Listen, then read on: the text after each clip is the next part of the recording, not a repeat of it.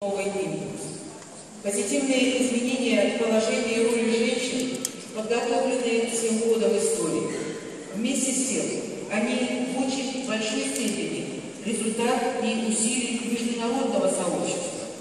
Дни проведения Евразийского женского форума совпали с юбилейной сессией Генеральной социально-культурных инициатив супруги председателя правительства Российской Федерации 平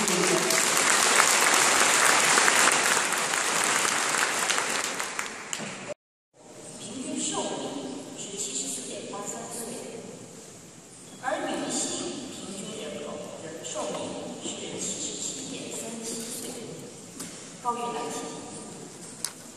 当然